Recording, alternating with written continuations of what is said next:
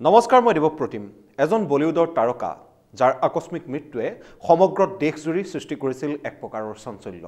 ইয়াৰ পিছতে তাৰকাজনৰ মৃত্যু ৰহস্য উদঘাটনৰ প্ৰবল দাবীদাৰ হৈ পৰিছিল ৰাষ্ট্ৰীয় সংবাদ মাধ্যম আৰু অভিনেতাজনৰ অনুগামীসকল। সেইখিনিলৈকে ঠিকেই আছিল কিন্তু তাৰ পিছত যেন লাহে লাহে প্ৰেক্ষাপট সলনি হ'বলৈ ধৰিলে। আৰম্ভ হ'ল সততে নৰেন্দ্ৰ মোদী চৰকাৰৰ গুণগান গাই সময় অতিবাহিত কৰা কিছুমান টেলিভিছন চেনেলৰ প্ৰাইম টাইম বিতৰ্ক।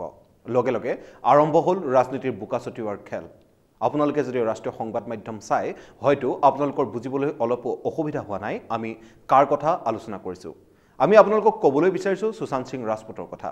নিজৰ অভিনয়ৰ যোগেদি লাখ লাখ দৰ্শকৰ হৃদয় জিনিবলৈ সক্ষম হোৱা সুশান্ত সিং ৰাজপুত। কিছুমাহ পূৰ্বে নিজৰ লাখ লাখ অনুগামীক আচৰিত কৰি এই সংসাৰৰ পৰা বিদায় মাগিলে সুশান্ত সিং ৰাজপুতে। আত্মহত্যা কৰিছিল সুশান্ত সিঙে। কিন্তু কোনোৱে যেন মানি ল'ব বিচৰা নাছিল জনপ্ৰিয় অভিনেতাজনৰ এনে আকস্মিক মৃত্যুক।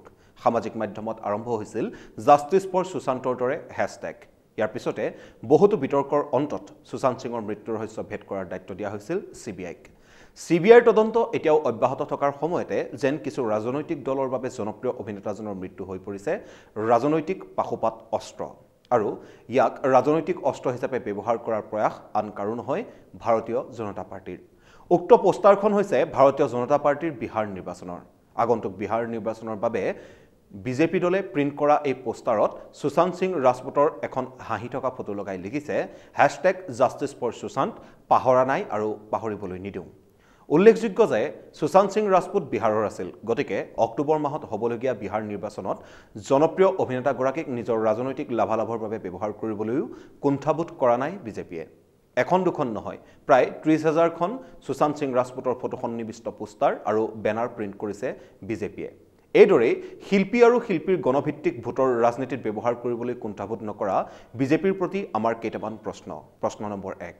বিহাৰত নিজৰ ম্লান হৈ অহা গণভিত্তিক এজন মৃত জনপ্ৰিয় শিল্পীৰ যোগেদি পুনৰ উদ্ধাৰ কৰিবলৈ কি এবাৰো আপোনালোকৰ বিবেক দংশন নহ'লনে?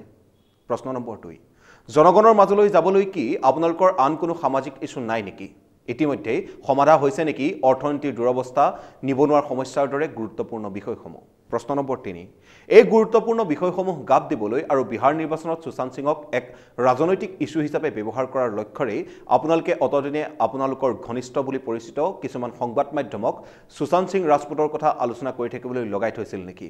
প্ৰশ্ন নম্বৰ চাৰি। আমাৰ শেষ প্ৰশ্ন। মানুহক হিন্দু মুছলমান বুলি ইতিমধ্যে ভাগ ভাগ কৰা আপোনালোকে ৰাজনীতিৰ ঊৰ্ধত মানৱীয় প্ৰমূল্যক চিনি পায়নে? চাই থাকিব দ্য ক্ৰছ কাৰেণ্ট যদি আপোনালোকে আমাক ফেচবুকত চাই আছে তেনেহ'লে আমাৰ পেজ লাইক কৰক আৰু যদি ইউটিউবত চাই আছে তেনেহ'লে আমাৰ চেনেল ছাবস্ক্ৰাইব কৰিবলৈ নাপাহৰিব।